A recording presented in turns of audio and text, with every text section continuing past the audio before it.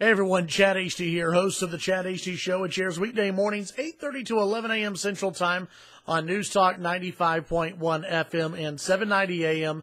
KFYO. Well, sometimes Sean Spicer and the Trump White House, they just can't get out of their own way. When talking about uh, uh, Assad's chemical attacks on uh, his own people in Syria, uh, Sean Spicer sort of misspoke when talking about chemical weapons. And, you know, that one guy from Germany, oh yeah, Hitler. Um, the White House press secretary, uh, now I'm going to read from CNN here.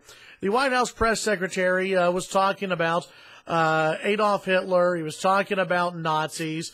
And uh, he said, quote, Adolf Hitler didn't even sink to using chemical weapons. Talking about World War II, he said, quote, you had someone who was as despicable as Hitler who didn't even sink to using chemical weapons, Spicer said.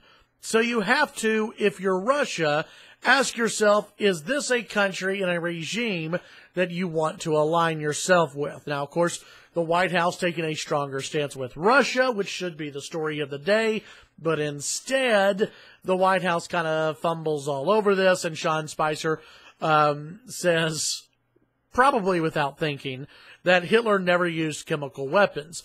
He did gas a lot of people. Uh, asked uh, for a clarification just, you know, a couple of minutes later, uh, reporters in the briefing room offered uh, the Holocaust as an example of chemical weapon use.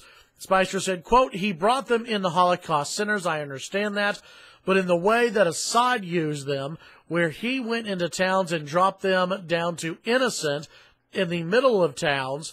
Spicer trying to defend his statement. I appreciate the clarification. That was not the intent. Okay. Uh, going to help out the White House here, just like I was trying to help out United Airlines yesterday. Uh, you know, two PR disasters, one in uh, two days, different companies here. Okay. Uh, the White House, again, let's not use Adolf Hitler uh, as uh, somebody that uh, you want to compare people to. Let's not do it. It it, it uh, doesn't really help you in any way to do it. Uh, but also, yes, when talking about chemical weapons, um, Adolf Hitler gassed his own people.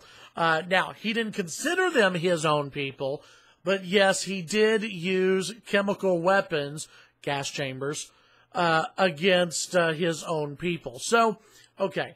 Uh, let's bad PR day there for the White House. Uh, now, for those in the media, there are some in the media who are using this as a way to beat the crap out of Sean Spicer and to say that uh, Sean Spicer doesn't believe in the Holocaust or Sean Spicer doesn't know what he's talking about. He fumbled. Okay, it was a bad fumble, but he fumbled it. The the thing that people need to take away from what Sean Spicer was trying to get to is that the U.S. is trying to hold Russia accountable. Now, uh, this is something that uh, those in, in, the media who believe that uh, Donald Trump is some kind of puppet of the Russian government. Uh, they don't want to admit to, but this is an administration trying to hold the Russian government accountable for their defense of Syria and Syria's use of chemical weapons against their own people.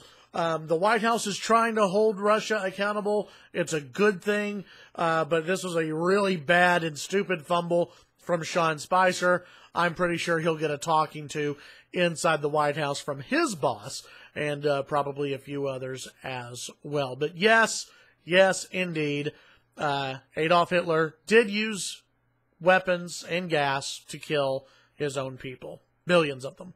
Tune in to the Chad Hasty Show weekday mornings, 8.30 to 11 a.m. Central Time. News Talk, 95.1 FM, 790 AM KFYO. Have a great day.